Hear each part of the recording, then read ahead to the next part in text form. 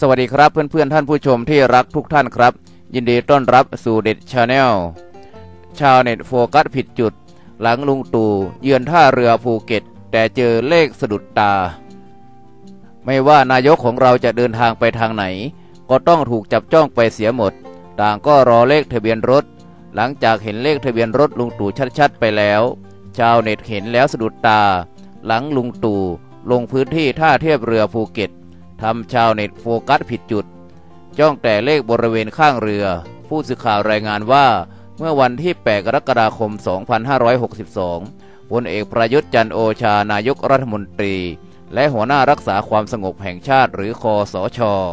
พร้อมคณะเดินทางมาท่าเทียบเรือน้ำลึกภูเก็ตอ่าวมะขาม ตำบลวิชิต อำเภอเมืองจังหวัดภูเก็ต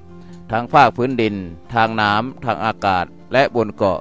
ศูนย์สั่งการ ศูนย์สื่อสาร และศูนย์ประสานงานของหน่วยงานระหว่างประเทศ ทั้งนี้หลังจากภาพนายกรัฐมนตรี ขณะเดินทางเยี่ยมชม บริเวณท่าเทียบเรือน้ำลึกภูเก็ต ถูกเผยแพร่ผ่านโลกออนไลน์ไปแล้วนั้น ต่างโฟกัสไปที่ตัวเลขบนเรือ ที่อยู่ในภาพด้านหลังนายก โดยเป็นตัวเลข 543 ซึ่งหลายคนบอกว่าจะจุดไว้ ขอขอบคุณข้อมูลจากสยามวาไรตี้ ถึงอย่างไรก็ดี ท่านผู้ชมก็โปรดใช้วิจารณญาณในการรับชม และมีสติในการเสี่ยงโชคทุกครั้งนะครับ แอดเป็นเพียงสื่อกลาง ที่นำข้อมูลดีๆมาฝากกับท่านผู้ชมนะครับท้ายนี้แอดขอให้ท่านผู้ชมทุกท่าน